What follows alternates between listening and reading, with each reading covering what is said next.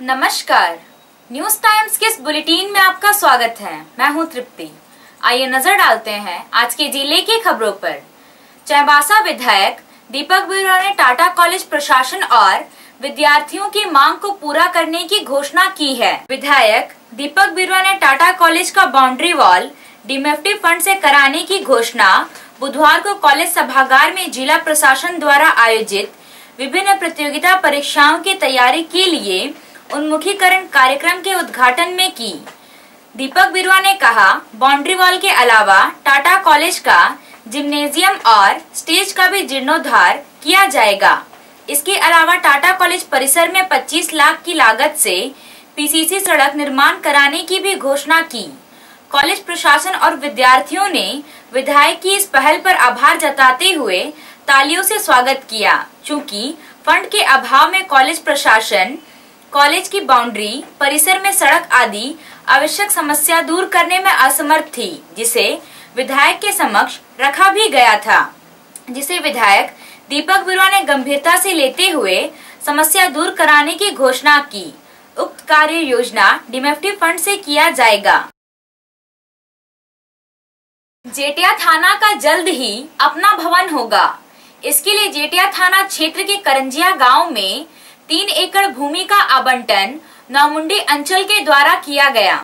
भूमि आवंटन के बाद भवन निर्माण को लेकर भूमि पूजन किया गया। करंजिया गाँव जेटिया थाना के लिए हुई भूमि पूजन के मौके पर जगन्नाथपुर के अनुमंडल पदाधिकारी स्मृता कुमारी, पुलिस अनुमंडल पदाधिकारी प्रदीप उराव के अलावे काफ़ी संख्या में पुलिस पदाधिकारी और जवान शामिल थे। जेटिया थाना का भवन दो मंजिला होगा। दो करोड़ की लागत से थाना भवन का निर्माण होगा। भवन निर्माण के लिए संवेदक को एक साल का समय दिया गया है। किरीबुरु लॉ एस खदान के आवासीय क्षेत्र की सड़कें इस कदर जर्जर हो चुकी हैं कि दुर्घटनाओं को आमंत्रण दे रही हैं। सड़कों के बदतर हालत के कारण टाउनशिप के लोग परेशान हैं। सेल किरीबुरु प्रबंधन द्वारा 2018 में इन सड़कों के निर्माण के लिए निविदा निकाली गई थी, जिसे पड़ोसी राज्य उड़ीसा के बड़बिल के संवेदक ने डेढ़ करोड़ रुपए में लिया था। सड़क की दूरी लगभग चार किलोमीटर की थी। सड़क का निर्माण प्रोस्पेक्टिंग किरीबुरु से मेन मार्केट होते हुए सीआरपीएफ कैंप हिल टॉप के पास मिलाना था। सड़क की चौड़ाई लगभग छह मीटर निर्धारित है। इसी ठेका कंपनी को बेस कैंप से हिल टॉप तक पाँच किलोमीटर लंबी सड़क का निर्माण कार्य को दिया गया था, लेकिन अब तक किसी भी सड़क का निर्माण कार्य पूरा नहीं हो सका है। इस कारण लोगों का सड़क पर चलना दुश्वार हो गया है। खदान प्रबंधन का कहना है कि कार्य नहीं होने के कारण ठेका कंपनी को नोटिस भेजा गया है। ये रोड बीसों साल से ऐसे ही पड़ा हुआ है। यहाँ कुछ मैनेजमेंट भी कोई ध्यान नहीं देते हैं। और आए दिन यहाँ पत्थर गिट्टी जो बिछ, बिछा हुआ है उससे आदमी को चोट लग रहा है। गाड़ी अपने रफ्तार में चलती है उससे चिटक के लग रहा है। हाँ और धूल काफ़ी उड़ रहा है, जिससे दुकानदारियों, दुकानदारी में भी आदमी को परेशानी हो रही है। आने आने जाने में भी परेशानी हो रही है। कम से कम मैनेजमेंट को इस रोड पर ध्यान देना चाहिए। बीसों साल हो गया इस रोड का मरम्मत हुए। ये जो कि मेन रोड है इस किरीबुरु की ये हमारा मेन मार्केट किरीबुरु जो कि शुरू से ही प्रसिद्ध है, जो कि आज तक इसकी रोड की कोई मरम्मत की कोई खबर नहीं, कुछ नहीं। गिट्टी बिछा दिए हैं, गिट्टी बिछाने के बाद छोड़ दिया गया।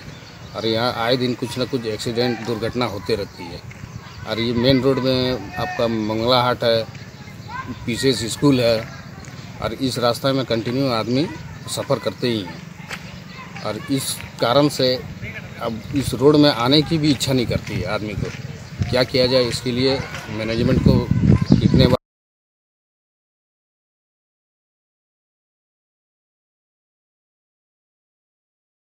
झारखंड के मुख्य सचिव डॉक्टर डी के तिवारी ने स्वच्छ भारत मिशन और जल जीवन मिशन से संबंधित वीडियो कॉन्फ्रेंसिंग की। उक्त वीडियो कॉन्फ्रेंसिंग में उपायुक्त अरवा राजकमल शामिल हुए। वीडियो कॉन्फ्रेंसिंग में मुख्य सचिव ने सभी जिलों के उपायुक्त को निर्देश दिया है कि वे सरकारी कार्यालयों को पीपल फ्रेंडली बनाएँ। किसी भी काम से कार्यालय आने वाले आम लोगों के बैठने की व्यवस्था करें। उन्हें शौचालय, पेयजल आदि की सुविधा दें। साथ ही स्वच्छता पर विशेष ध्यान दें। मुख्य सचिव ने बुधवार को झारखंड मंत्रालय में राज्य के सभी उपायुक्तों को विभिन्न विषयों पर वीडियो कॉन्फ्रेंसिंग के माध्यम से निर्देश दिया। मुख्य सचिव ने उपायुक्तों को निर्देश दिया है कि वे ज़िले के सभी सरकारी भवनों की सफ़ाई एवं सुंदरीकरण पर ध्यान दें। उन्होंने स्पष्ट किया कि सुंदरीकरण का मतलब निर्माण नहीं है, बल्कि भवनों की बेहतर देखरेख है। इससे जहाँ भवन सुंदर नज़र आते हैं, वहीं भवनों की आयु भी बढ़ जाती है। उन्होंने कहा कि पंचायत भवन, थाने, अस्पताल, स्वास्थ्य केंद्र, प्रखंड कार्यालय आदि के भवनों की मरम्मत कराएँ ताकि टूट फूट नज़र नहीं आए। उसकी रंगाई पुताई कराएँ। इसके लिए भवन विभाग और मनरेगा आदि की राशि का उपयोग करें। अभी के लिए बस इतना ही। कुछ और खबरों के साथ हम फिर हाजिर होंगे। तब तक न्यूज़ टाइम्स की पूरी टीम को दीजिए इजाज़त नमस्कार।